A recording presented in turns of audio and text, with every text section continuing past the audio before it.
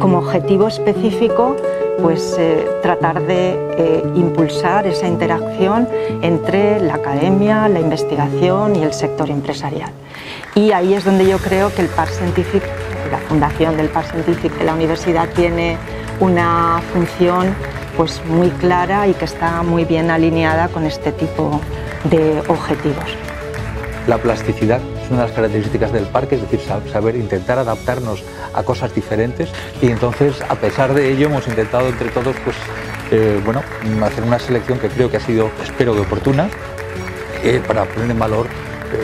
pues, lo que realmente las ideas originales que habéis planteado.